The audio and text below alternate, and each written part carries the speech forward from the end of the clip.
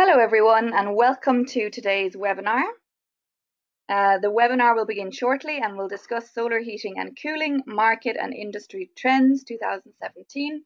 We look forward to your participation in this webinar and also in our Q&A session later. Before we begin with our webinar, I would like to introduce the International Solar Energy Society. So the International Solar Energy Society, ISES, is a non-profit UN accredited membership NGO. The ISES vision is to achieve 100% renewable energy for all used efficiently and wisely. We represent a diverse membership of academics, researchers, energy practitioners, consultants, students, businesses, and advocates. ISES works together with like-minded organizations from countries around the world to advance the renewable energy transformation. So please support our work and the global energy transformation by becoming a member. Have a look at our website, ises.org and join.ises.org. We understand that sometimes the time of the webinar may not suit people in many parts of the world. While we do try to alternate the times, we know it's not always possible. Therefore, we will post a webinar recording on our website.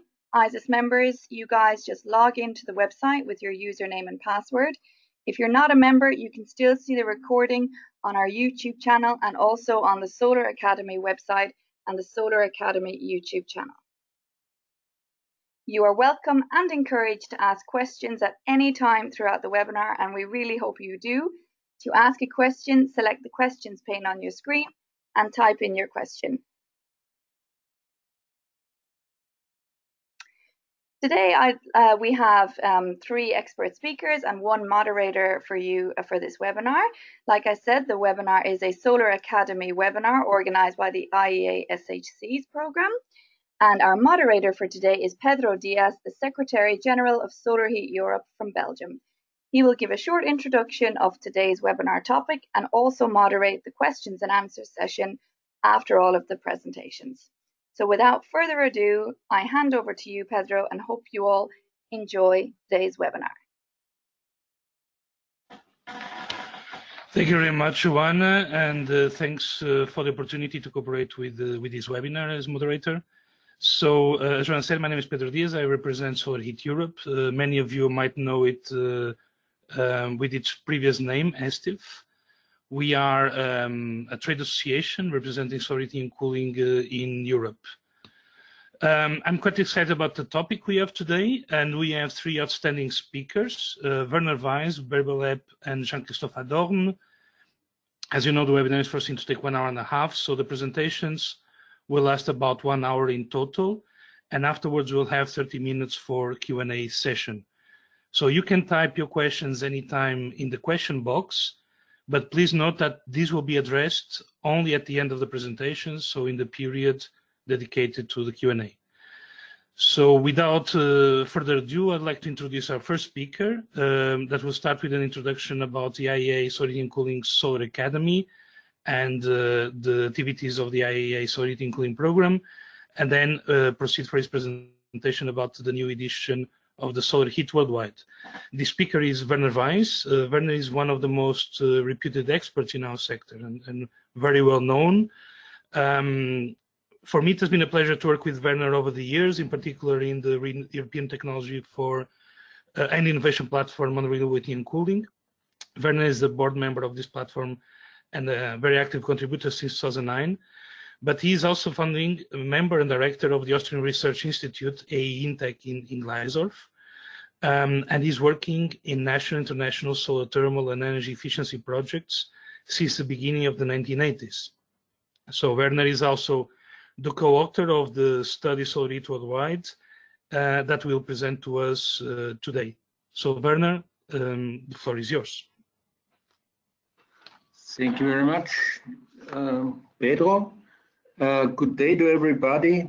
Uh, as announced already by Pedro, before I start my actual presentation on Solar Heat Worldwide, I want to briefly introduce the Solar Academy. The Solar Academy for Heating and Cooling in Buildings and Industry is uh, organized by the IEA Solar Heating and Cooling Program. And very briefly to the solar heating and cooling program. We are a part of a research cooperation of the IEA. It's currently 20 member countries plus the European Union.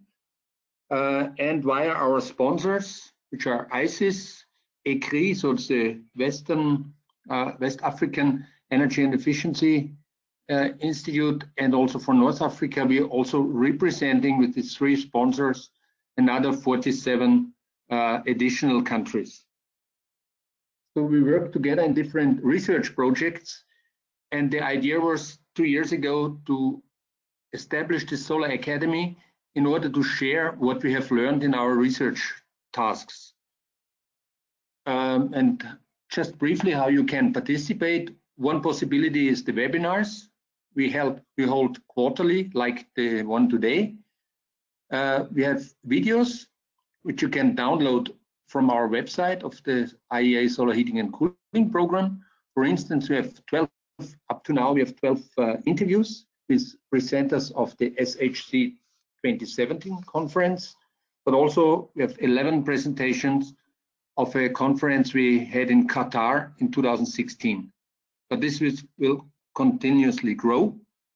On the other hand, we organize national days, like one we do next week in Sweden, where we cooperate with national research experts and exchange information and results uh, from the international work and the national work. And we also organize on-site training.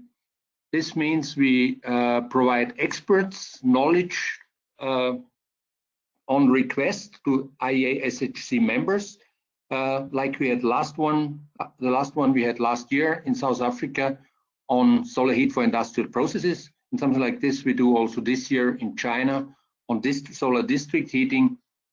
Uh, so this is something what is coming up on demand, on request of SHC members.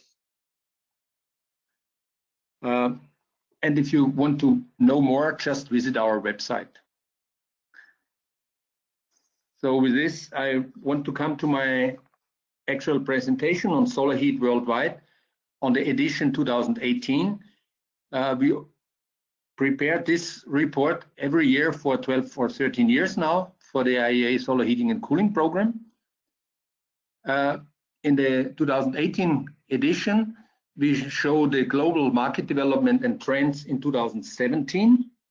And if you're interested in detailed market figures, then you can find it for 2016 for 66 countries worldwide.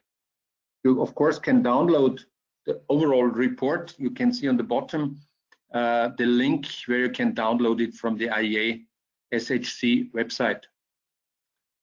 As I mentioned already, we have 66 countries covered all over the world, representing about 4.8 billion people, or about 66% of the world population. And the installed capacity is estimated to represent about 95% of the solar thermal world market. So all the countries you see here in color, we have, detailed uh, data from the countries and the countries in gray we estimate the installed capacity. My first part is on global thermal market development and the status in 2017. As you can see here on this chart, the global solar thermal capacity of uh, unglazed and glazed water collectors in operation grew from 62 gigawatt or 89 million square meters in 2000. So it's on the left-hand side of this chart. And it grew to more than 470 gigawatt uh, in 2017. Uh, this uh, solar thermal capacity produces more represents uh, solar energy yields of 388 terawatt hours uh, in 2017. So it's quite significant growth. This grew from the capacity grew from 2000 uh, to 2017 by the factor of 7.6. If we compare the installed capacity and uh, energy supply of the different, I would call it new renewable energy uh, technologies, so not uh, including the big ones like biomass and hydropower. Then you can see here on this chart, the red bars show you the installed capacity. Ah, sorry, blue one, the installed capacity, and the red one, the energy supplied, so the energy yield. And as you can see here, uh, wind power is first with 539 uh, gigawatt installed capacity, followed by solar thermal with 472. And on third place with 402 gigawatt installed capacity, it's photovoltaic. And then you have geothermal power with 13, solar thermal power 5, and ocean and tidal power with approximately 1 gigawatt installed capacity. The red bars show you the energy supplied. And of course, here you see the, the different ratio between total capacity and energy supplied. This basically shows you the full load hours uh, these systems are running. So number one here in terms of uh, energy supplied is wind with 1,430 terawatt hours, followed by PV with nearly 500 terawatt hours and 388 terawatt hours solar thermal. Uh, of course, we compare here heat and power, but usually the heat sector is underestimated because there's more publicity made around the electric uh, technologies. The contribution of these systems were installed by the end of 2017. Um, so we had uh, the solar thermal yields, as I mentioned before, amounted 388 terawatt hours. This represents avoided CO2 of 134.7 million tons every year of CO2. On the other hand, the oil equivalent we saved is nearly 42 million tons of oil just saved by the use of solar thermal systems. Jobs and turnover, I think it's also quite important. What is the impact on jobs? Uh, so it's in the in the range of 700,000 jobs worldwide. Uh, people working on solar thermal production, installation, and of course also on on research there's a quite significant uh, turnover of the solar thermal industry, which is estimated to be 16 billion euro or 19.2 billion US dollars. If you look to the market developments and trends in 2017, uh, in general, compared to the year 2016, the new installations uh, declined by 4.2 percent uh, the most dramatic development was in China, where for the fourth year in a row the market declined. So we had twice in 2014 and 15 a decline of minus 17%, and then nine, minus 9% in 2016 and 2017. So it gets less. It's uh, a decline of, of 6%. So this is the major factor why we had a decline on the worldwide scale in total is 4.2%. Uh, an interesting fact uh, in China is, which is in my point of view remarkable, that in 2017 there was an increase of newly installed flat plate collectors and vacuum tubes uh, declined, so the cap capacity declined. Uh, as most of you know, uh, the Chinese market is dominated by evacuated tube collectors, so there might be a change in the in the trend uh, that more and more flat plate collectors are installed also in China. A very positive market growth we are recorded in India with a plus of 26%, but also Mexico uh, is a plus of 7%, and in Turkey is about 4%. And of course, a lot of other countries, smaller countries, uh, recorded smaller uh, market growth. Um, what is also remarkable, the megawatt scale solar supported district heating systems and solar heat for and cooling applications for commercial and industrial sector, they have really gained increasing interest all over the world. In general, we can um, detect that solar thermal heating systems in the building sector, they have really a challenging time. So for single and single family houses, which represent about 90% of the world market, uh, they are really under pressure from heat pumps and photovoltaic systems. And this is the main reason why we had this 4.2% decline in the market, because this uh, sector of small scale systems are coming under pressure from the other renewable uh, technologies.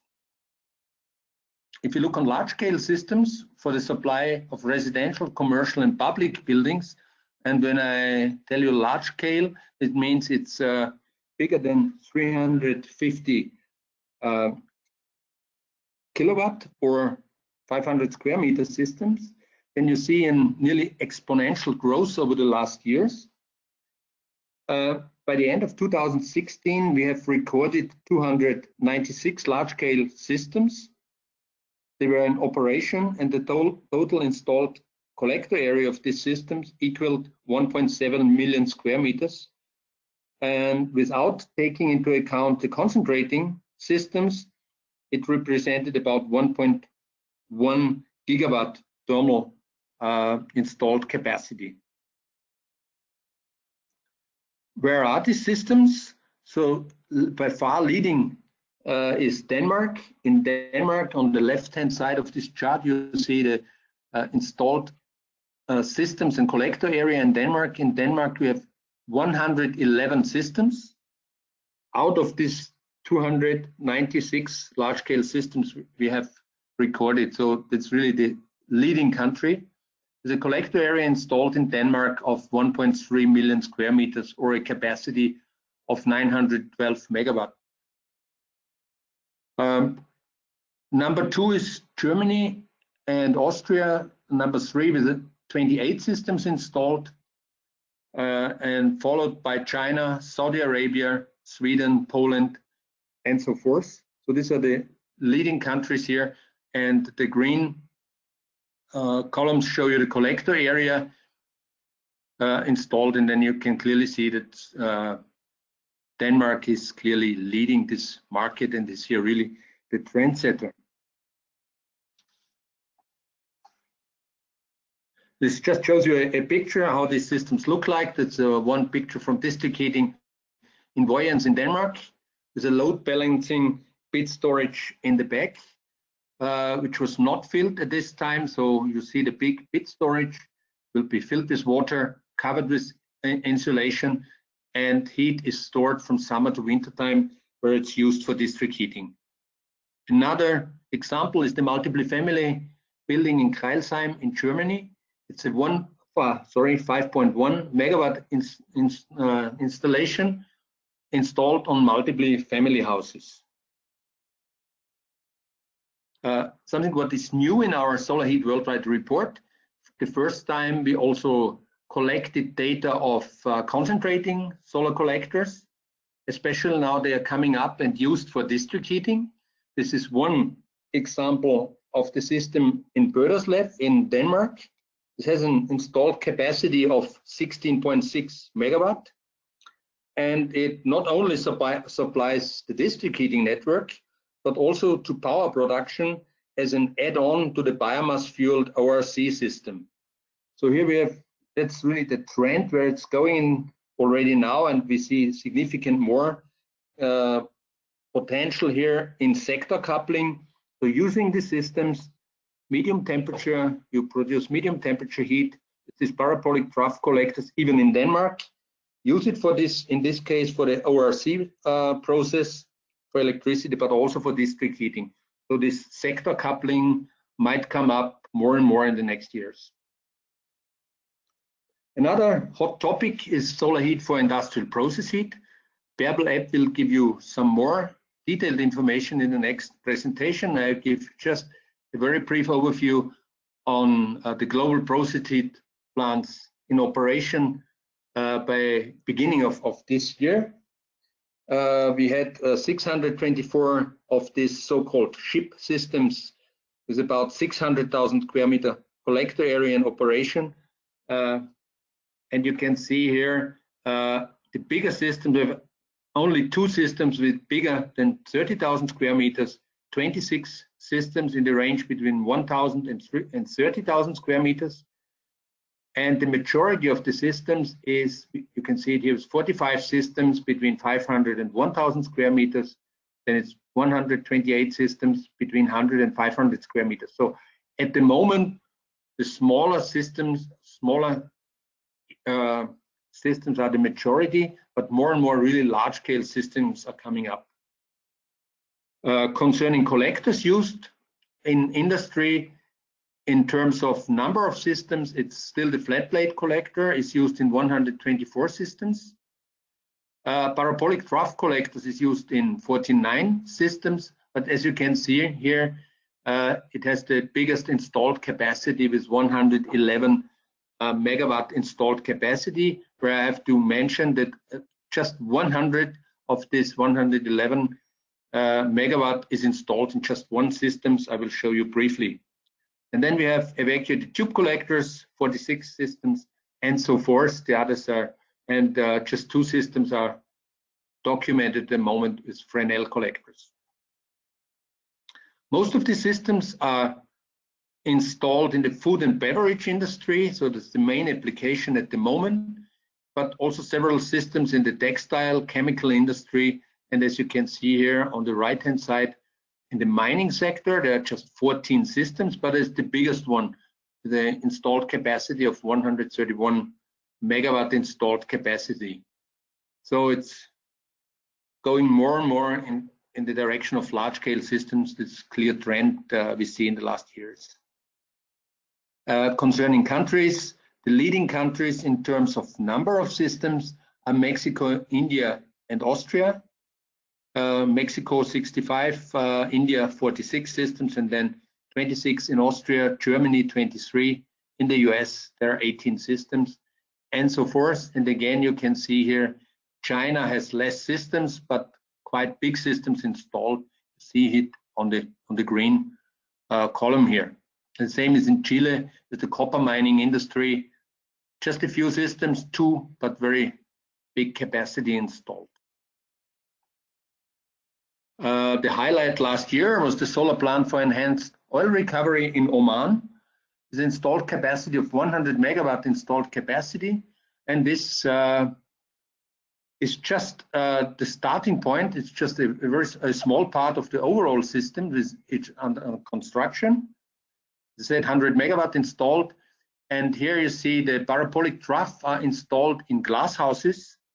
So with this, uh, they produce 660 tons of steam per day for the Amal oil field. And the main advantage is they could reduce, Glasspoint could reduce significantly the cost uh, for the construction of the parabolic trough because they have no wind loads. And in desert conditions, you can imagine if you have these parabolic troughs in sandstorms, it's not to the benefit of, of the of the parabolic troughs, and it's easier to clean the glass houses. And this uh, heat or the steam uh, is used uh, in the Amal oil field, located in uh, the south of Oman, to extract this heavy oil as an alternative to steam generated from natural gas. Finally, I want to show you the total installed capacity in operation in 2016. So for 2016, we have very detailed data for all 66 countries. So if you're interested in this, you can look for your country in the overall report. But just give you a, a brief overview. Uh, China is leading with 71% of the total installed capacity worldwide. Europe accounts for 11%, and the rest of the world, I would say it's 17.7%. The biggest share here is 4.1% in the US and Canada, followed by Latin America, Asia without China, so it's mainly India. Then the MENA region, Australia, New Zealand, Sub-Saharan Africa accounts for 0.3%, and then you have something like 5% all other countries. Uh, top 10 countries of the accumulated water collectors in installation uh, the first slide here on the top shows you the top 10 countries. As mentioned already, China has installed 324,000 megawatt of solar thermal, followed by US, Turkey, Germany, Brazil, India, Australia, Austria, Israel, and Greece. So these are the top 10. And the different colors indicate the different collector types used. So blue is unglazed water collector. For instance, in the US, it's mainly the market of swimming pool absorbers, unglazed collectors. Just a small part is flat plate collectors. In Turkey, you see that uh, the orange part is flat plate. On top is evacuated tube collectors. Just an explanation. So China is by far the, the biggest market with more than 70% of the total market. If you look at the top 10 from another perspective, per thousand capita, it gives you a completely different uh, picture. If you look at, at it on the uh, capita perspective, then it shows you something on the market penetration. And this gives, as I said, a different picture. China, who is in absolute terms number one, is number eight worldwide in terms of installed capacity per inhabitant. But nevertheless, China is making up every year uh, one point going to the left-hand side. And I guess within five, six years, they will be number two or three. Uh, and on the other hand, Austria, number eight, in terms of absolute installed capacity, is number two in terms of installed capacity. So I hope I could give you a brief overview on the content of solar heat worldwide. If you're interested in the overall report, just download it from the website, which is indicated here. Um, and I thank you for your attention and I'm available for questions in the Q&A session. Thank you. Thank you very much, Werner. Uh, we proceed for the, um, the next presentation. I'll just make a quick remark. So you can uh, place your questions anytime in the question box. Uh, they will be addressed later in the after the presentations. Uh, please note that these are for questions for speakers. So this is not a chat. Uh, so you should only use it for concrete questions for the, the speakers um, today. So our next speaker is Bärbel Epp. Um, is an extremely well-known journalist covering for 20 years uh, solar thermal sector. Um, she's the founder and managing director of the agency Solrico, and she's also the news editor of solarthermalworld.org, a very known website uh, covering topics from our sector. Um, she's also author and collaborator in many relevant publications, uh, for instance, the section on solar and cooling uh, market and industry in the REN 21 Global Status Report, uh, which is a reference report for renewables worldwide. Um, Bärbel and Solrico have been dedicating attention to solar heat for industrial processes over the last years, publishing some relevant reports, also in the framework of the international project Solar Payback. So Bärbel will present recent developments related to different applications in our industry and also in terms of policy. So Bärbel, please go ahead. Yes, good afternoon, everybody. Thanks for the nice introduction. Uh, thank you also to the organizers for this speaking slot. My name, uh, my name is Bärbel Epp, and my topic is Industry and Market Trends 2017. Well, um, Solrico is a global uh, market research network focusing on solar thermal sector. I think Pedro already explained some of what we are doing. One is uh, that we contribute uh, the solar heating and cooling chapter to this report, global status report. It's um, actually the report where also the, the nice figures of the Solar Heat Worldwide study always are replicated. So you see that the Solar Heat Worldwide study is the real reference for good figures in our sector. It's a policy document, uh, 325 pages this year, including 80 pages endnotes. So it's a very condensed uh, product. It is downloaded over the year 70,000 times and it's launched all around the world in several events and uh, the press releases are published in 12 languages so it's covered by a lot of press media around the world and uh, the key message this year the headline so to say of the press release was transformation is picking up speed in the power sector, but urgent action is required in heating, cooling, and transport. So the, the authors of the REN21 uh, network really stress the fact that there is much more attention worldwide in the power sector than uh, these other sectors need a lot more attention. I found this very positive and I think it's also the style a bit of REN21 to really uh, try to get heating and cooling and transport more in the ag agenda.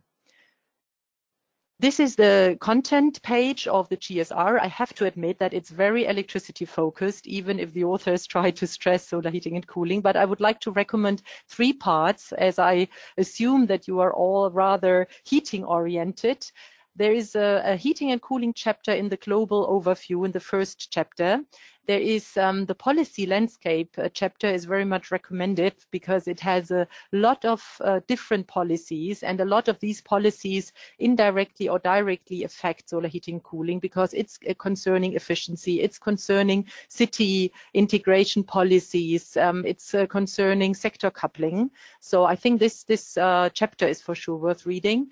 And in the third chapter, you find uh, the solar heating and cooling section itself, which is a condensed um, industry and market oriented chapter.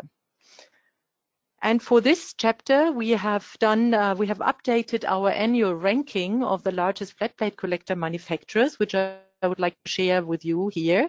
This usually shows uh, very well the trends which are going on in the sector, and some of them Werner Weiss already stressed in his presentation.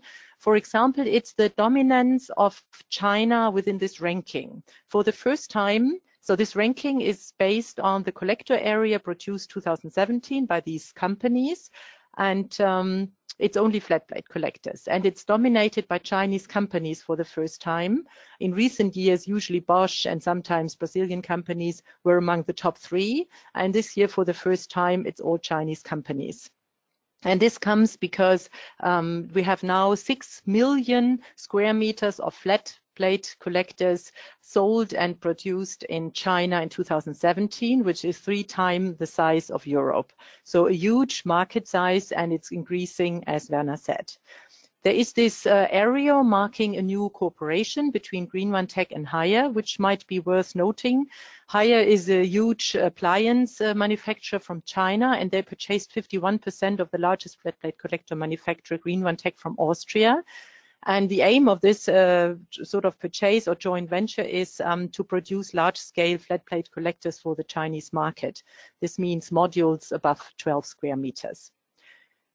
There is something else striking in this ranking of this year that the Turkish, Greece and uh, Spanish uh, manufacturers did extremely well. The last ones profited from export. And export always means that there are new emerging markets around the world, which we don't really so much um, address or reach with our market statistics because they are still uh, young and emerging. But um, for just to quote Greece here, the Greek manufacturers were able to increase their export by 41% in 2017, up to 325 megawatt, and their local market is 221 megawatt. So they are now much more exporting, and the countries they mention or the regions is mainly Eastern Africa. There's some North African Gulf region and also Latin America. So that is a good news that even um, Italy, the thermosiphon market did well. So these manufacturers, they particularly ship um, thermosiphon technology, and um, that's good news for us that new emerging markets are really coming up.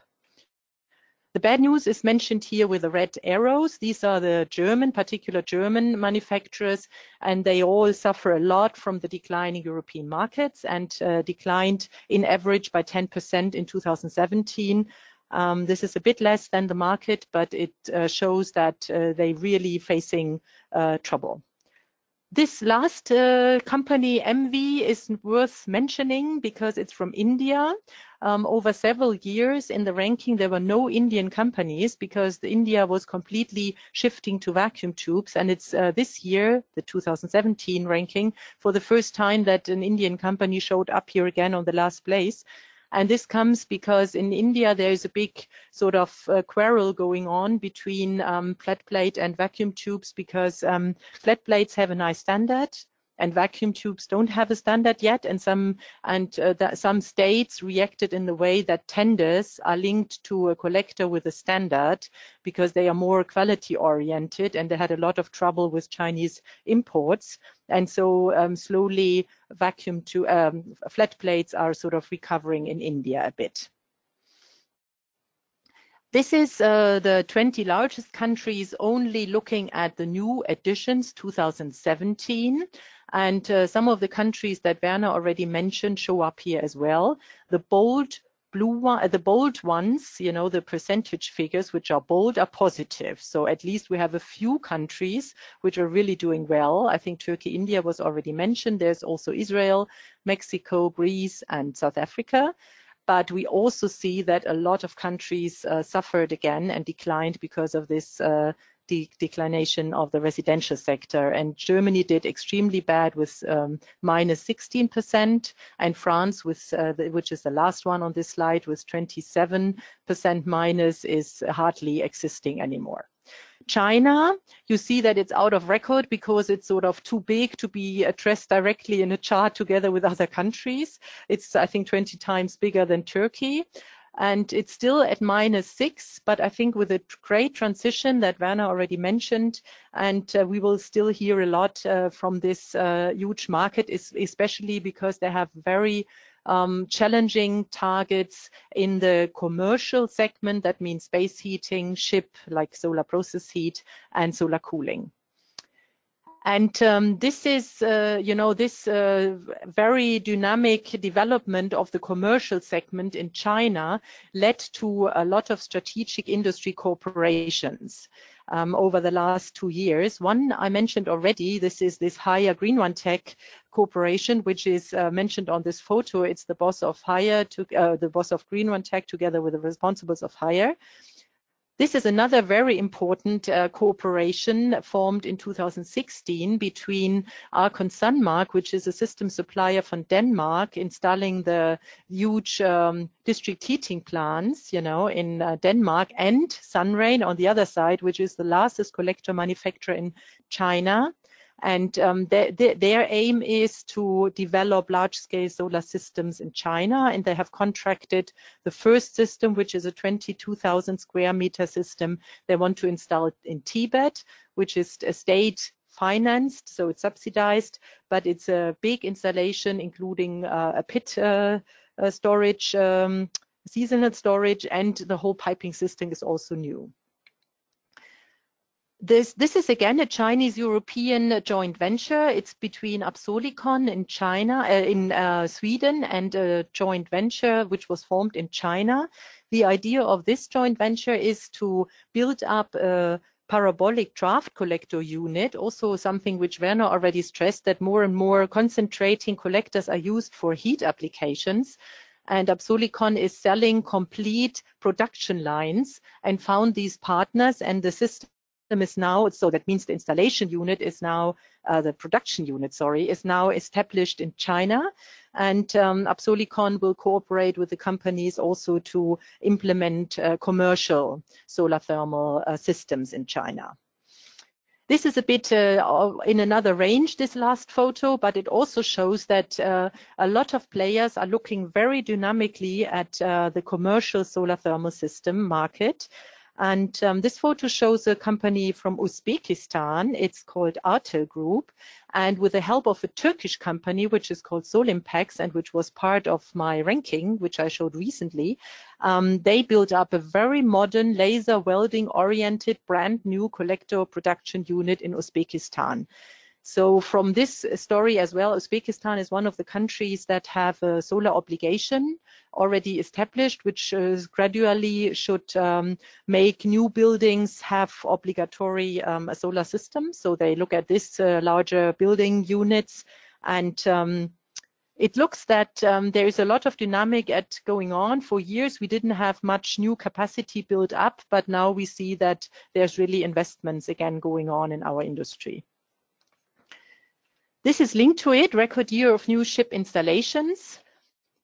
This is the figures. You know, we had 110 ship systems in 2017 implemented in 19 countries from 35 different ship suppliers.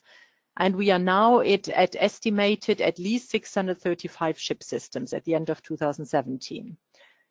This figure arrived from this supplier map um, within the project Solar Payback, which is a ship promotion program um, in four countries. It's uh, Mexico, Brazil, South Africa, and India. Um, we looked at the supply chain, you know, we wanted to give a forum to the ship suppliers, you know, the technology suppliers for this particular segment of solar industrial heat. And we identified 81 of them and they are presented in this map. It's an interactive map. So if you click of one of these markers, you receive the following information about the country, of the, about the company. You will see how many reference systems they installed and ship until the end of 2017, how much collector area this was, um, which collector type, if they do one, which one they produce. And we link to um, the references they have integrated to the world, uh, to the website that Werner Weiss presented in his presentation, which is called ship-plans.info and which gathers on a technical basis um, ship plans. Um, so we link the reference of Himin in this case to their references in this other plant. So we try to link the both websites and um, it's really obvious that this large committed supply chain is a strong driver of the ship market. So um, this is, I think, a new phenomenon in our sector that we have at one point, you know, we have huge potential in ship, which uh, is still sort of more or less sleeping, but we have a very uh, large and committed supply chain technology suppliers who really address this field. We asked them in this survey I'm talking about for drivers and barriers in this market. There is economic competitiveness in India and Mexico, and these were the markets also that have the most uh, ship plants. We have countries with direct subsidies like India, France, and Germany. And we have this big driver, which will come up probably more and more, especially in China, and this is cleaner air. So it's not cleaner air, but cleaner air. This is a spelling mistake. And it's this replacing of coal boilers in industry, which is striking in China and really troubles the industry and making them um, look into alternatives. And solar thermal steam is an alternative. But on the other side, barriers are huge and barriers need to be tackled. And one is that there is still low awareness of ship among industry. There's little existence if you imagine that we have probably hundreds of thousands of production companies and we have only 600 demonstration plants, so little visibility of existing ship plants. We have still low fossil fuel prices and therefore we have difficulties to address the short payback times with the industrial customers ask for. So um, this last statement here, every project is the customer education process and requires project-specific engineering, sort of uh, gathers a bit the situation we have. There is big potential, obviously, but there is still a lot, uh, we are still far away from standardization and we are still uh, far away from having uh, clients which are really aware and running uh, towards our doors and uh, asking for ship. Um, well, yes, we have concentrating, increasing concentrating technologies. And I just uh, share with you this uh, slide, which maybe gathers a bit the concentrating markets of 2017. We have counted 143 megawatt uh, of these concentrating heat technologies, and they were is contributed from the different countries. And again, it's uh, more or less the same countries which always show up. Oman, with this ma major installation GlassPoint, which Werner presented. We have one player in China, Vicot, who is very strong in parabolics. Actually, you see from this uh, list that um, in Mexico, it's the same situation. It's usually a handful of these um, uh, concentrating technology suppliers that make the world market because it's still small, but it's growing. We have in Italy, um, because of the nice incentive situation with a feed-in tariff as well as a, um, a, subsidy for collector areas, two larger R&D projects with Fresnel and Parabolics, and they are linked to an ORC cycle. India is the only country where we really have a lot of different suppliers that are using concentrating collectors. And this comes because they have a particular, it's the only country worldwide with a subsidy scheme for concentrating collector technologies for heat production. So it's the only country worldwide. It's in place since 2010. It was a bit delaying 2017, but it's now confirmed until 2020 and will for sure have more effect on the market. In Mexico, again, only one uh, in the slide, uh. Citrus is a client sort of of inventive power, and they do ship on uh, for uh, with concentrating collectors. Yes, this is a, a short uh, remark uh, on, on the district heating market, which was very well presented by Werner, but there's one additional information I would like to share with you. And this is that increasing new policies are in place for solar district heating, especially in Europe. And I think that this uh, this uh, wording that solar district heating is the most cost effective way to decarbonize the building sector absolutely is understood by policymakers in the meantime. So that was really penetrated by a lot of international studies in the last years, and it's it arrived sort of, and it's in, it's sort of built up in clear policies. And this this whole list here it shows six countries with dedicated subsidy schemes for large scale solar thermal and I don't want to go into detail here. I just want to tell you that this is really a, a, nice trend. It shows Austria, France, Italy, Netherlands, Germany, and Slovenia. You find all these programs. They are all explained in the solarthermalworld.org incentive database. So the, the links at the back, at the end of these uh, uh, country uh, portraits are linked to the website. And uh, so we will update this incentive database uh, on Solar Thermal World regularly. And you can make sure that um, the next countries to look into are Poland and the Balkan countries, because we have clear information that also in these countries, district heating will be subsidized. So good news from this area. And my last action, my last part is concerning solar air conditioning. It's actually still a niche market, no doubts about that. We did a survey among uh, technology suppliers and we found that several companies left this market. So this is due to uh, the PV dominance, that PV electricity with a co compression chiller can do the same job. But we also found some committed uh, suppliers that are still um, doing well and um, we have gathered their information. One of them is Solid from Austria, which uh, uh, implemented two really nice installations on solar cooling in 2017. The one from Nicaragua is on the top, the one from IKEA in Singapore is on the bottom. There's one larger installation in India with 1,575 vacuum tube collectors. It's a public uh, building which is supplied. And there is a new uh, system from Industrial Solar with Fresnel collectors, and um, they doing both process heat and air conditioning.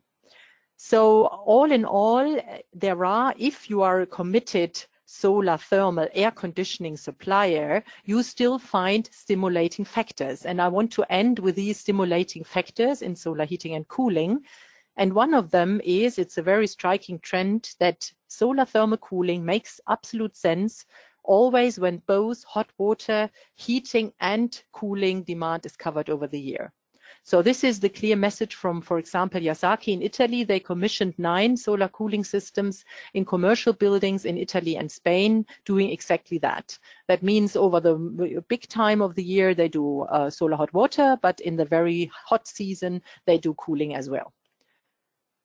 Then there is a clear trend that the MENA region and the Gulf regions are increasingly asking for solar also solar thermal cooling um, applications. And this comes because they have an electricity issue. In some of these countries like Kuwait and others, um, the subsidies on electricity will be removed. So the electricity prices will increase uh, significantly and people spend a lot of uh, electricity for cooling their houses. So um, there was uh, two, for example, two installations in 2017, which are mentioned here from Fahrenheit and TVP Solar installed in this region in Kuwait and in Dubai. So there's probably more to come.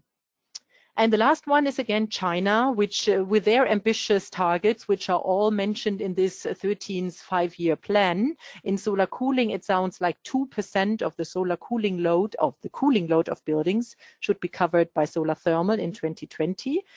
And two rather big installations were announced there. It's a 40,000 square meter flat plate collector system, which should uh, cool 200,000 floor space uh, public buildings.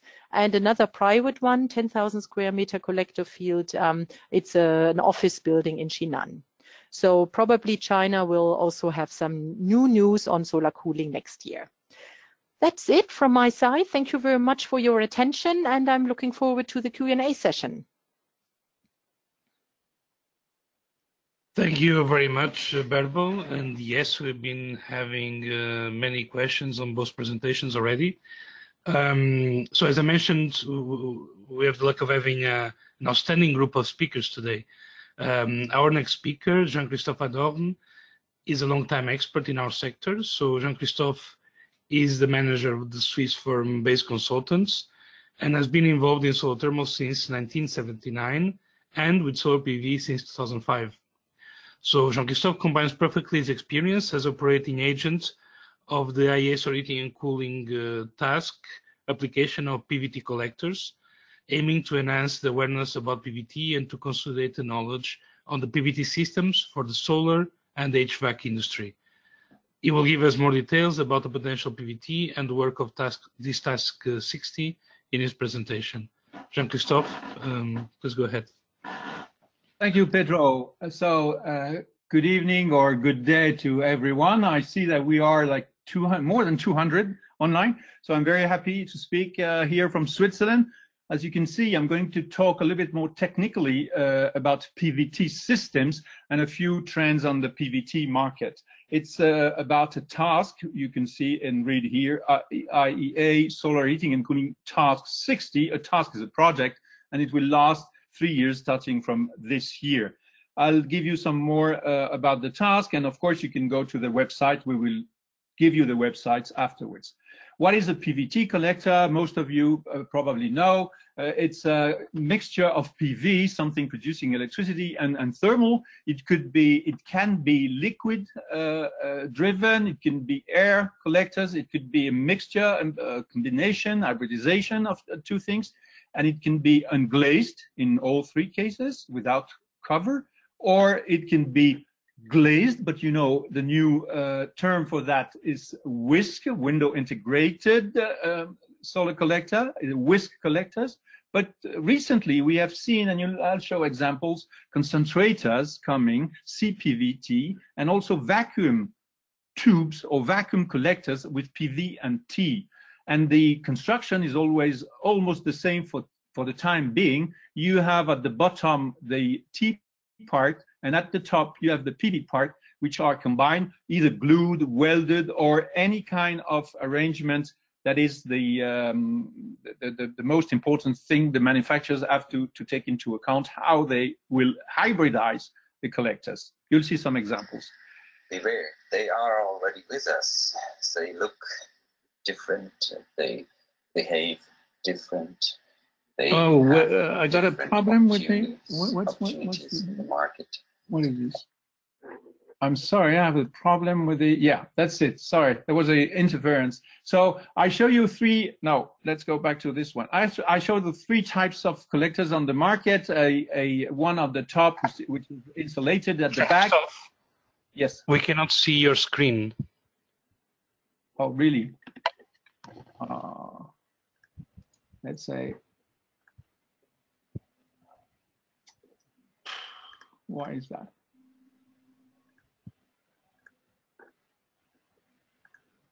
Okay. Okay, I, I try. I try to. Can you see the screen now? we can see the screen. If you can maximize. I'm sorry for that. Now. Yes. Oh, sorry. So you missed. Did you miss the the previous ones?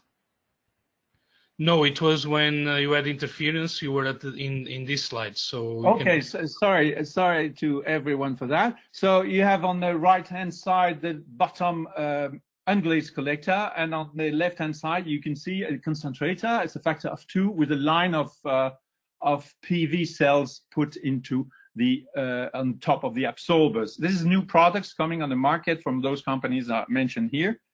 Um, a very uh, uh, interesting one for those who are interested into concentration is this one from a, a, a uh, this company, and you can see that they try to concentrate as much as possible, maybe factor 10 or factor 12 on these uh, PV cells, which have, as you, you can imagine, very high efficiency. So you save lots of cost on the PV part uh, and to get the most out of it in terms of electricity, but you still produce heat uh, uh, through the, the heat pipe or the pipe which is inside this collector. You can uh, download much of information about these uh, collector, uh, concentrator collector that you can see here. There are trackers also um, on the, the website of this company I'll mention in the end what why do we go pvt it's not it's an old story. It started in the 90s probably uh, you know and you recall this but it was like uh, there was like a gap in between the products and and the market.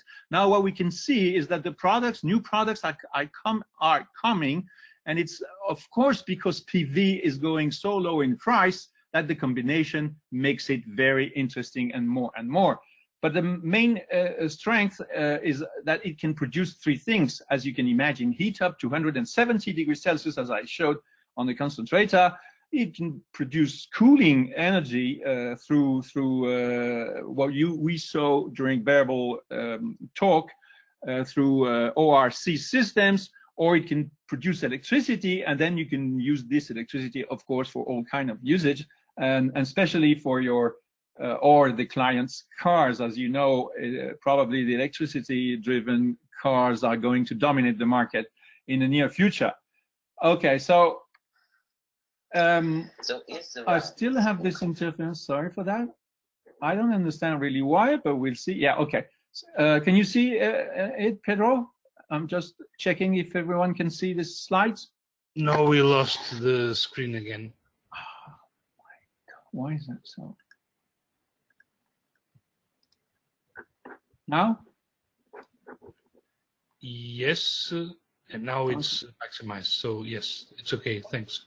Okay, very sorry. Uh, PVT is more complex than PV and separate thermal, but of course there is a, a, a, gain that is more that is that it is more efficient. If you just compare on the on this slide uh, the the roof of 42 square meters uh, available, and you put on red and blue uh, solar, thermal separately from PV modules, and in green here, oh, PVT collector, good PVT collectors that we might have on the, we have on the market. You can see that you can save like 23% of energy, or you can produce 23% more solar energy out of this on the right-hand side uh, configuration than on the left-hand side. So the, the challenge is to really uh, do it uh, with the new products and the new systems I'm going to show in a moment. But you can see that if you combine, the aesthetics might be a little bit better on this uh, part of uh, on on this solution and also the efficiency as we said and then the cost of course it will be about the cost if the combined cost stays uh, uh lower than 23 percent compared to the to the separated uh, solutions then you're better off with pvt solution and this is what we are going to target in within the task 60. We're going to understand in which conditions and for which segments of market this is true or interesting. Of one family house, probably uh, there is something interested, interesting to see. Multi-family houses up to 100 kilowatts, uh, commercial industrial processes. We have some examples around the world that are uh, moving to PVT to do the uh, process heat with electricity uh, production. And of course, uh, that was not obvious, but we have been uh, told that big systems also for heating and cooling, uh, district heating systems uh, are up to one megawatt can um, also be looked uh, at from the PVT uh, side of, of the collector. the market probably is where PV is, and you've seen in the previous presentations that PV is taking over a lot, and, and, and thermal is a bit lagging behind. So it might help uh, solar thermal to work with PV. you also have noticed that in some countries, heat pumping, heat pumps solutions or cooling machine are um, uh, really increasing their market share over other system of uh, energy production, uh, fossil fuels mainly. So where heat pump or cooling machines are, are, then we have an advantage with PVT solution because we produce electricity and the heat pump can be uh, connected to the T part. where electricity, heat, and cold, the three supplying uh, fluids that or energies that we can do with PVTs are needed, then PVT will have a, a clear advantage. And of course, also for process energy, because you've seen, and it's quite new for some of, of, of, of, you probably, then we can go up to 180 degrees Celsius with concentrating collectors producing electricity too. This is a, a standard uh, new examples of what's going on uh, with PVT. It's in Switzerland, uh, could be anywhere in, in Europe. You see those kind of buildings. There's five uh, buildings equipped with uncovered uh, PVT collectors on, on top. And it's uh, providing heat to very low temperature heating system because it's um, net zero energy buildings. And there's also a cooling network, which is coupled to a few 215 boreholes. And of course, there is a heat pump. And these 3,487 square meters of uncovered PVT collectors are producing the electricity for the heat pump and the, the uh, regenerating the boreholes in the winter time, uh, um, in, this, in the summertime uh, to be used for the winter season, um, coupled to the, uh, to the heat pumps a bit of the market uh, we need for uh, most stats. PVT is just taking a little share of something in the world. So the stats are not uh, available yet and they are very inaccurate. So what we, we did, the Swiss uh, SPF Institute and also TNO in Netherlands did a survey of what was on the market last year and they found roughly the same things. Um, there are about uh, more than 50 products. You can't imagine that. More than 50 PVT collectors on the market, mostly for liquid uh, cooled uh, solution and uh, uncovered, as you can see, the blue uh, share of the of the market. How they sell is something else. How big is the is the real market in terms of square meters is really something that we need to to address. But for the time being, it's it's um, getting uh, uh, some market share in, in the PVT uh, seg segments, but we don't really know at what pace. I can give you some hints for Switzerland. We have like 300 PVT installation for 15,000 square meters total, which is half a percent of the PV plus T market. It's very difficult to, to compare to something. Should we compare to PV only, to T only, or to the sum of it? I started uh, by saying uh, half a percent of the sum of the uh, installed square meters in Switzerland, but it's up to the IEA groups to decide what kind of statistics we're going to use. It's still a growing market, as you can imagine. In a PVT system, I'm going to uh, sketch what is a PVT system that's uh, not only now the collectors, I was talking about the collectors uh, uh until now, PVT collectors, you can see on the uh, uh, left-hand side in green here, going to the load where you can have heat, domestic hot water, or cooling load. It could be local in the building, or it could be through a network, as you can imagine. So from, from the PVT collectors to the load, there is a system we have to, to put in place. And this system will obviously deliver heat on the top, and then also electricity. It's the uh, characteristic of the collectors. And electricity, you can use it to any um, kind of power um, machines or whatever. You can also store that into batteries or something else. And there is a real influence of the grid tariffs you can have in your region uh, uh, about what you should do with this electricity. Should you store it? Should you use it? Should you put that on the network? It's up to the uh, local conditions to say. And now on the heat side, um, you could produce also the heat with a heat pump that could be driven from the electricity from the PVT. This heat pump could take the energy from, from the ambient or from the ground or from an ice storage that could that could be uh, used also for cooling purposes like ground and ice storage as you know and of course the heat can be stored like we all know in in tanks and you can use this um, uh, storage to to uh, supply heat or domestic water directly from from the, the, the, storage, or you can go through the heat pump here to get your heat or domestic water. So you see, it's quite a complex system, and there's a lot to optimize and find out which is the best combination. Should you store here the heat? Should you not store? Should you use batteries? Should you go more through electricity and heat pump, etc., etc. This is the purpose of the group. We are um, now setting up since a few months international group working on that and uh, I hope you get all the answers uh, about what is important on which market segments in the near future. Uh, you can also imagine there's a lot of innovations that are going to come uh, on PVT uh, collectors like the fluid, nanofluids or dark fluids, magnetic fluids, I can, you name it. Uh, the cover also, the way you seal the systems, how you, you, you pile up the layers. Of course, PV cells are going to evolve in many directions also. Organic cells, we're talking lots of organic cells nowadays.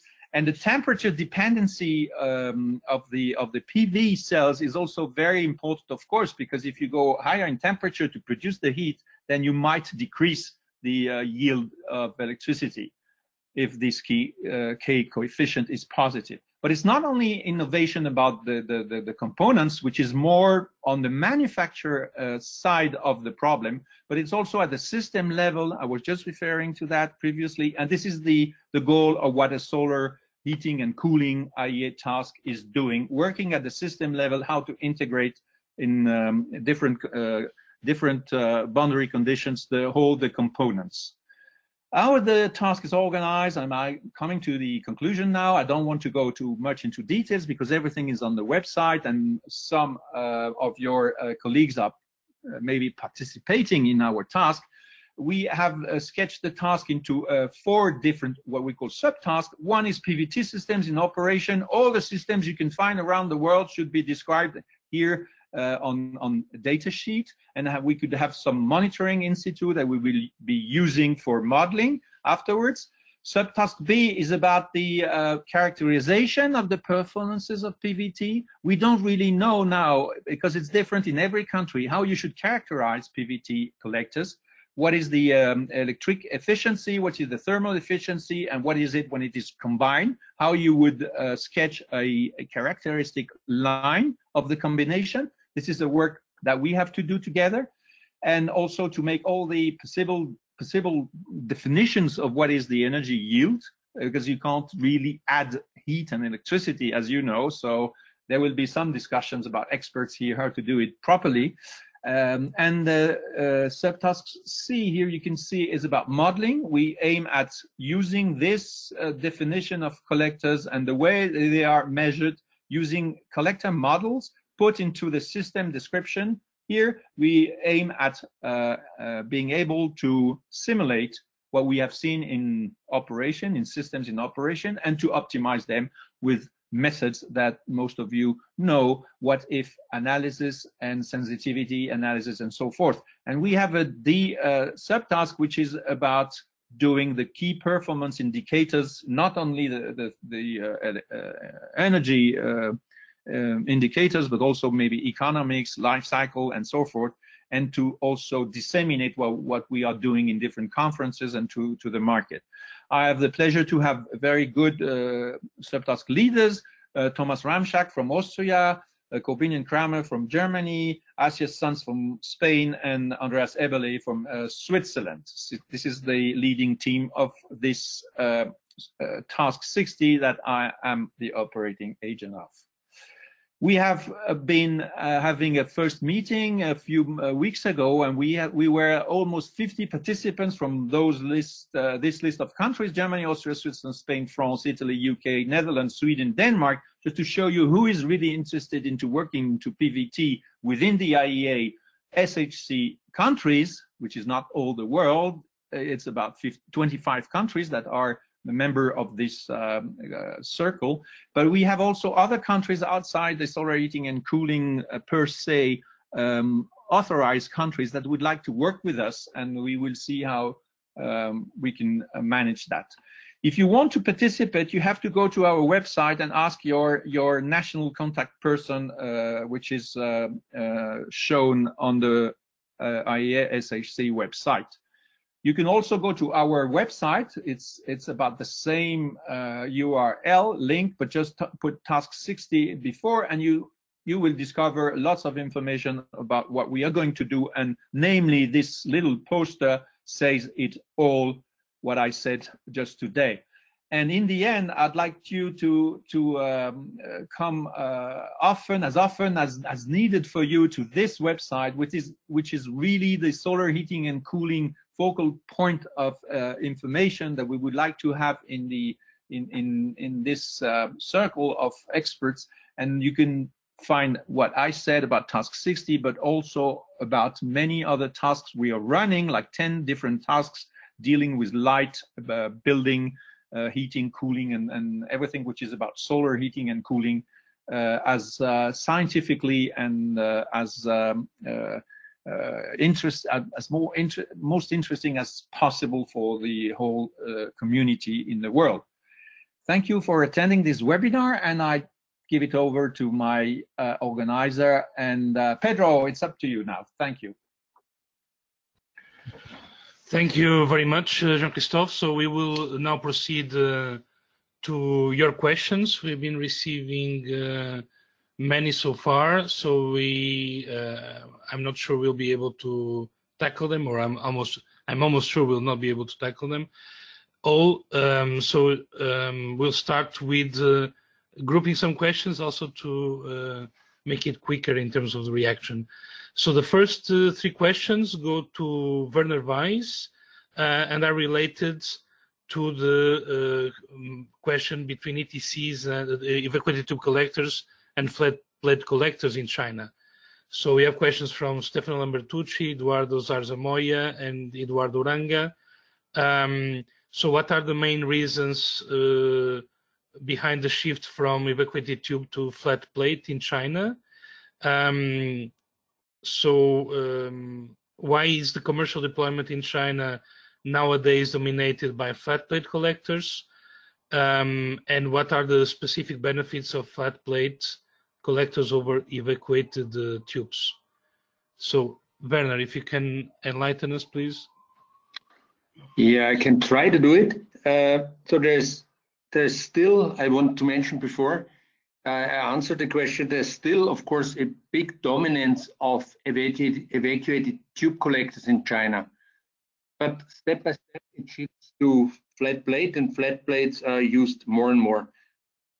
My uh, assumption is uh, starting with the benefits of flat plate collectors, which might be part of the explanation. Uh, flat plate collectors you can use as uh, instead of roof tiles. So you the collector is the roof. You can cover the roof with the with the flat plate collectors. You don't need roof tiles. And from the so that means uh, if you use evacuated tubes on a roof, you need roof tiles or a normal ordinary roof below it. So that might be one of the benefits of flat plates. The other is if you go to really large scale systems, from the hydraulic point of view, it's easier to connect flat plate collectors uh, compared to evacuated tube collectors if you go really on large scale systems. This might be two of the reasons uh, why there is a shift towards flat plate collectors uh, in China. But there are no clear studies on it, so that's my point of view on this. Maybe Bärbel could add to this question as. Uh, answer or answer as well? Well, just briefly, no, it was, I think, very well said. It's only the facade installations which also um, look rather into flat plate. And as they have not a lot of roof space in China and huge buildings, in the balcony installations, they prefer flat plates because of security. And a lot of these um, real estate projects, which are built in large size in the urban areas, are flat plates. This is also the third reason. Yeah, it's it's significantly easier for building integration. And we look on if you go on large cities or cities in, in general, and to dec decarbonize cities, then we have to use the available roofs and facades to use it as a energy converter, either with flat plate collectors, which is easy to integrate, or of course also with PV, and they're easier to integrate architecturally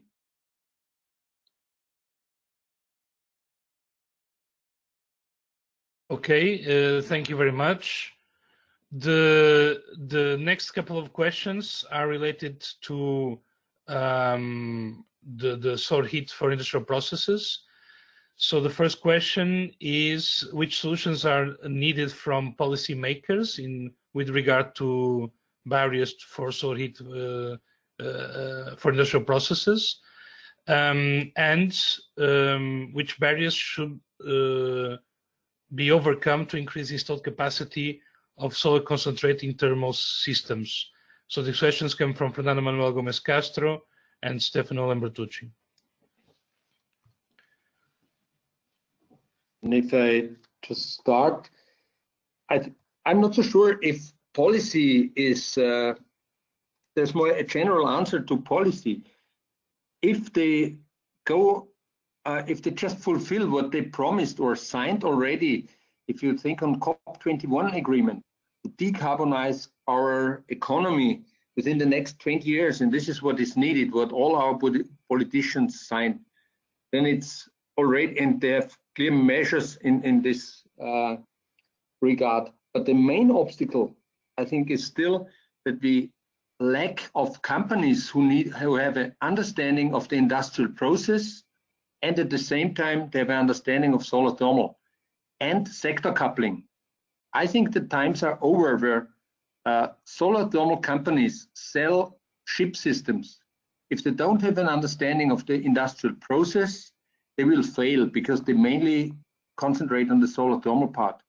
And there's a huge market in my point of view if you have both, if you combine the knowledge of uh, system integration, so understanding of the process, what is needed, and the understanding what solar thermal can contribute. And even more in future, the, the sector coupling of heating, cooling, and electricity to combine it. And for these companies, I see a big, uh, bright future. And so the main obstacle I see here in the industry, not so much in, in the in the field of, of policy. Of course, the general framework condition have to be changed it makes no sense at all if they sign a new contract for a new gas pipeline for Europe, uh, if they on the other hand signed COP21. So it's completely counterproductive. But yeah, I mentioned where I see the, the main obstacle at the moment. Well, this was a really meta level. Maybe I uh, creep into that. I think that uh, SHIP needs uh, support, and there are two tracks. You know, there is the inner sector track. That means what can the sector, that means the technology suppliers can do themselves and I think this is really awareness. You know, if you go to industry associations and they are the best vehicle to address the message that industry has a big heat demand and you have options to tackle this in a CO2 neutral way, you will see that you have a lot of surprised faces in front of you because dairies and breweries and food processing and metal processing companies in the world are not aware. So go, the industry itself must go along associations and do their own awareness raising. But the policy must stress or, or have uh, frame conditions which makes it easier for the companies to invest or stimulate. You know like india for example they have such a big uh, oil oil consumption in the industry that they are talking about stimulate that means um, a quote of for renewables in the industry. They will would like to um, it's the same like china. China has already a sort of um, uh, a sort of obligation because they just tell the, the companies you have a limited access to steam produced from coal. So if you want to reach your production targets, you have to invest into solar uh, or renewable heat and steam. So I think there needs to be frame conditions which make the urgentness more striking that heat and industry is a huge emission uh, polluter and um, that that's the two tracks. Own um, uh, uh, address the associations but also policy must show the way. That's my opinion on SHIP. Yeah you're right Bärbel. i just want to add so of course on the country level like in austria we have a support program for SHIP systems for several years in place from the climate and energy fund where this climate and energy fund uh, subsidizes or funds SHIP systems with up to 40 percent of the total cost. And of course, this is one of the reasons why the country is in, in the leading, under the, amongst the leading countries. This is quite important to have the demonstration system to show that these systems are working. This is a, a main push in this direction and encourage these companies to go in this direction.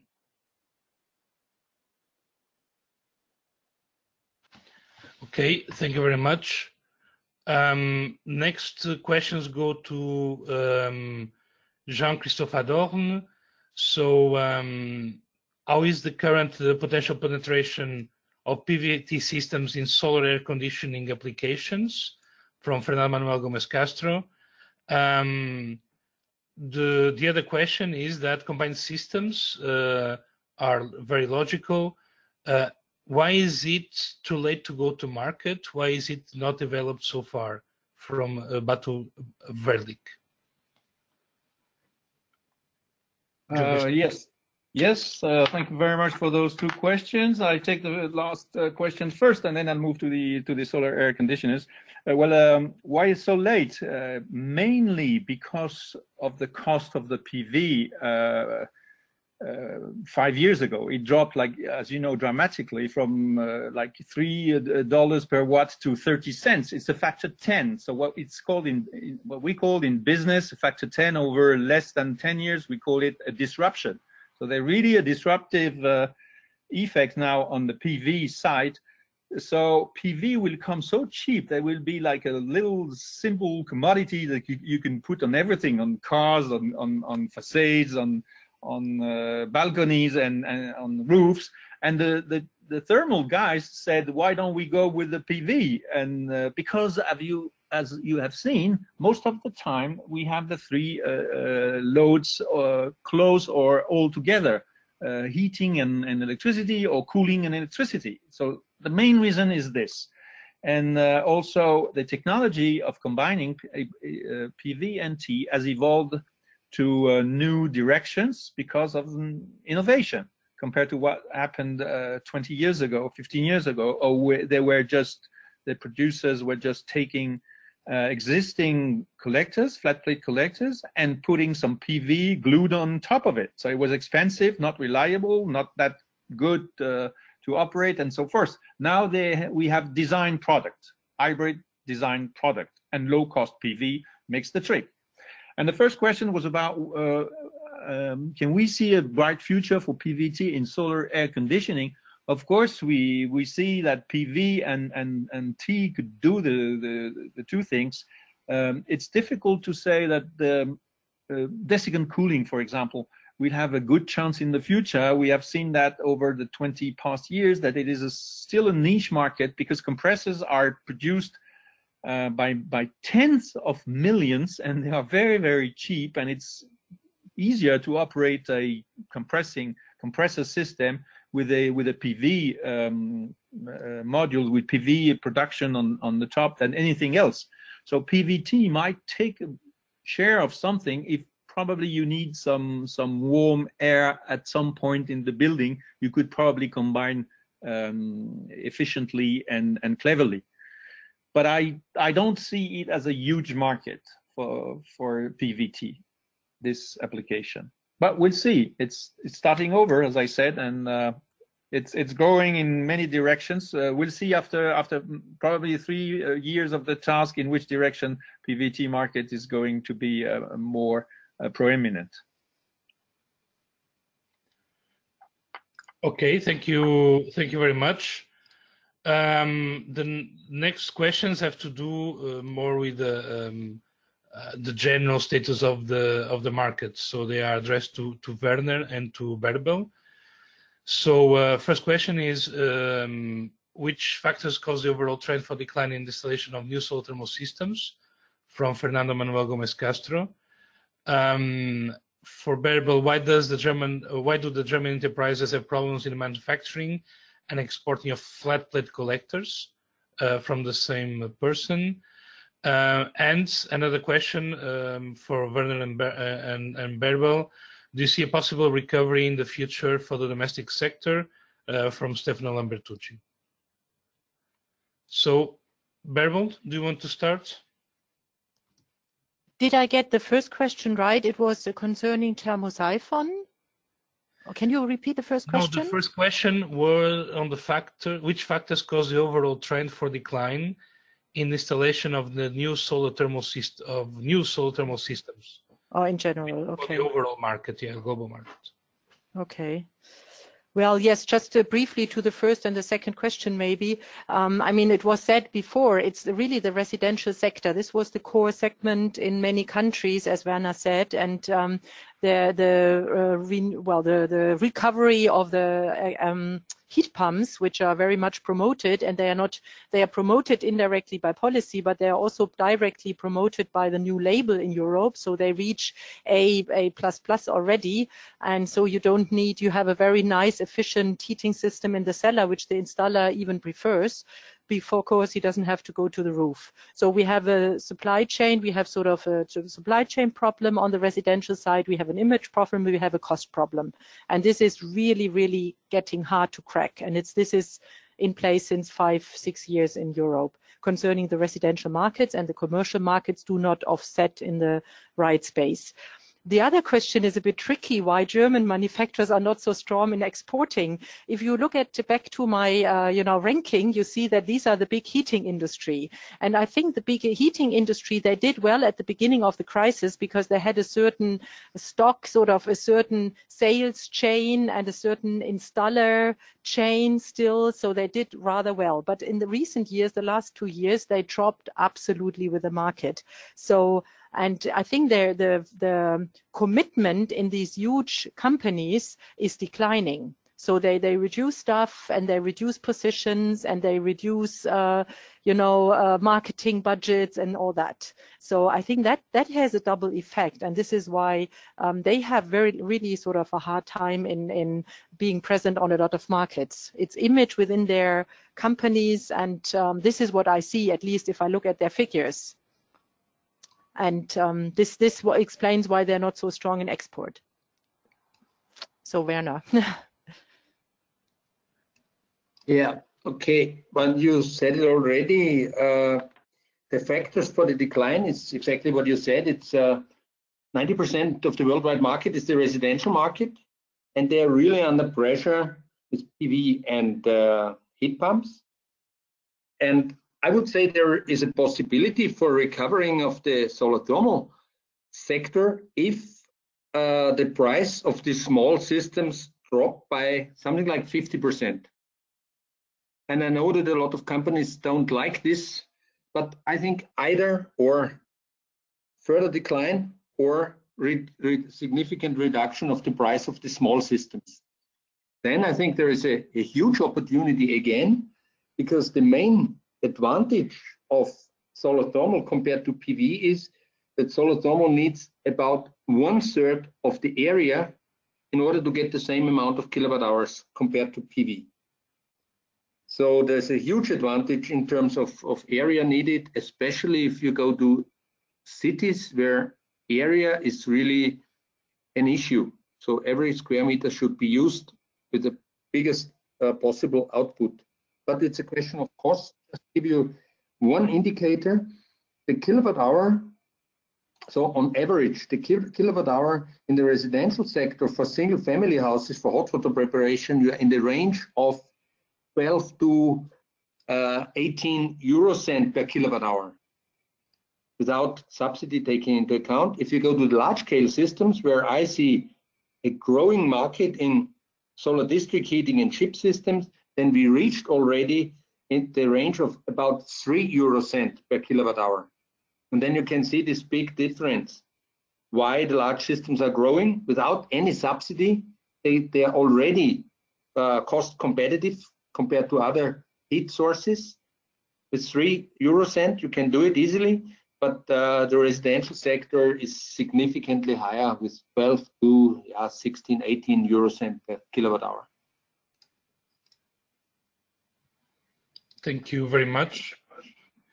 Um, going back to uh, PVT, PVT systems uh, and, and Jean-Christophe Hadorn, um, I have a question from Mr. Drew Gillett. So, so thermal air conditioning is a way to link higher efficiency of thermal with 1.5 to 2 COP and uh, bit uh, photovoltaics. So that is a question. Um, and year-round cooling and uh, heating uh, and hot water also. Um, and the other question is if PVT um, systems will be um, more feasible in colder countries uh, like in Europe. And the question is from uh, Mr. Yadep Malavia. Thank you for those two questions. Well, the first one about the uh, what what PV can achieve in terms of uh, air conditioning. It's it's uh, it's already well known. There is an IEA task on this, and uh, you can go to our website and you get lots of information on, on this. Well, you can have compressors and uh, uh, PV is like 20% production, and the compressor system can go up to let's say factor two. So you make your calculation and you'll see that the, the uh, PV and compressor is, is about the same as uh, doing a solar thermal air system, but with less uh, complications.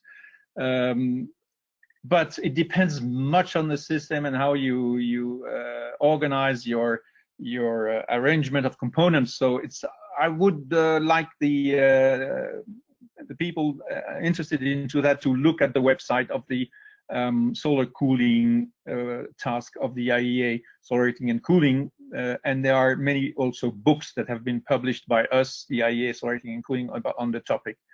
Why PVT would be, be best uh, uh, or better off in, in Europe than anywhere else? Probably because uh, we don't like PV to go at high temperature first, and then we need the heat to, to heat the buildings. So uh, PVT in deserts will face high temperatures and, and probably the PV production will, will be reduced a little bit. Um, but uh, if you use the heat in maybe in a process, uh, for example, then you would say I can also reduce the average uh, temperature of the PV modules during a day, but because I'm using the heat. So it gives an advantage of, of PVT against PV, even in very hot climate and, and and hot uh, uh, sunny places. So it's not given that there will be PVT uh, solutions for Europe only. I think we don't really know for the moment. It's probably depending on, on the quality of the products.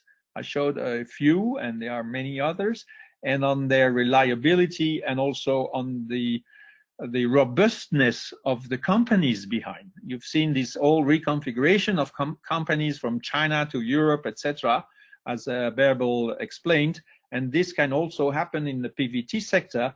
What is uh, interesting to notice is that we don't see for the moment the big players in PV and the big players in thermal coming to PVT. It's more something for startups at the moment.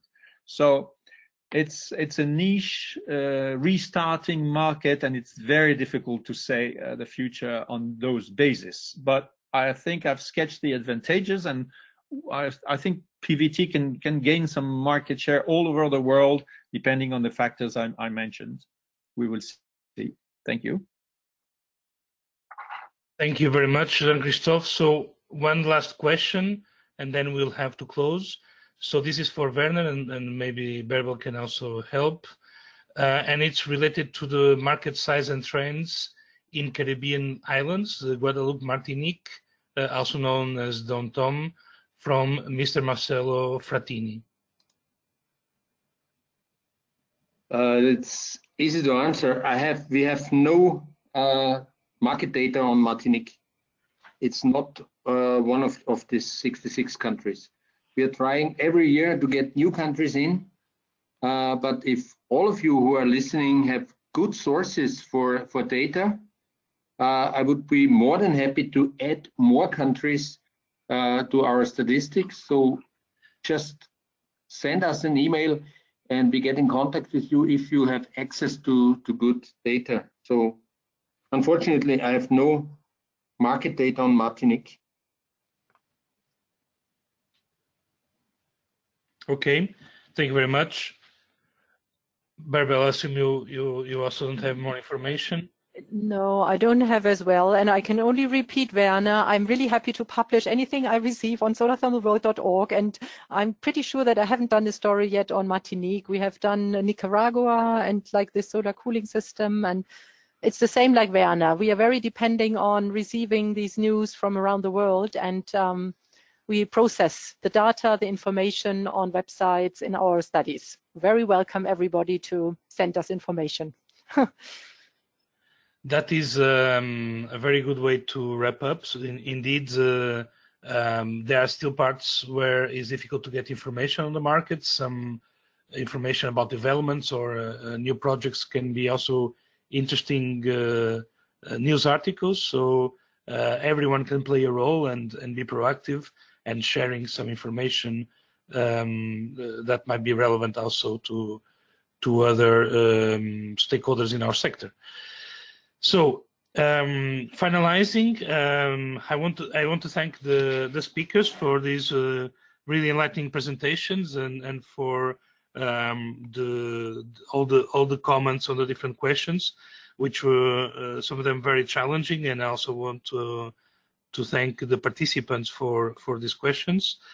Um, from my side, I want to thank the IEA Solar Academy, in particular the, the IEA Solar Inclusion Program, NISIS, for this invitation and in particular for the work they have been doing in organizing these uh, webinars. And I have to say, I've been attending several of those and I'm looking forward for, for the next one already. So this is from my side. So um, I will uh, now um, pass uh, the baton for Joanna for a final message and uh, depending where you are. So good morning, afternoon or, or evening. Thank you very much. Thank you very much, Pedro, and thank you to all our amazing panelist speakers that were on today's webinar, Bärbel Epp, uh, Jean-Christophe Hadorn, Werner Weiss, and to you, Pedro, for the excellent job moderating the webinar. Uh, for all of you out there, if you want to contact the panelist speakers, please do so directly, uh, so not through through ISES. So you can see their presentations, they're all on the ISES website. You can download them, have a look at them, and they have their contact details there. Uh, the next ISES webinar is already in the planning and it is scheduled for July. It will be a webinar on the global status of renewables, so please stay tuned. We also have another Solar Academy webinar planned for this year, so all of you, please stay tuned to that. We will be sending you email invitations. Last but not least, thank you so much to everyone who um, you know, gave up their their hour and a half today to listen to this webinar. I hope you enjoyed it. I hope you learned a lot. I hope your questions were answered in the Q and A session, and um, I hope to see you back for for the next webinar.